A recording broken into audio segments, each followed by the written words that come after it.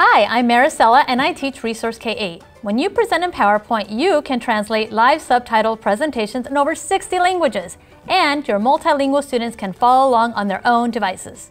Let me show you how. To get started, make sure you have PowerPoint for Windows, a working microphone, and an internet connection. Now, download and install the add-in. It just takes a second to download. Open your PowerPoint presentation and go to the Slideshow tab.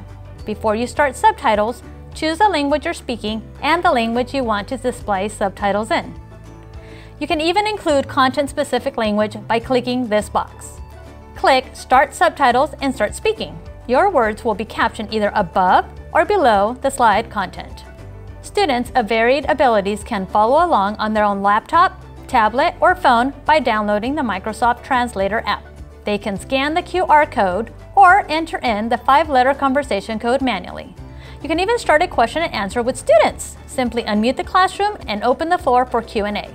Students can speak or type their questions and they will appear on screen. That's it!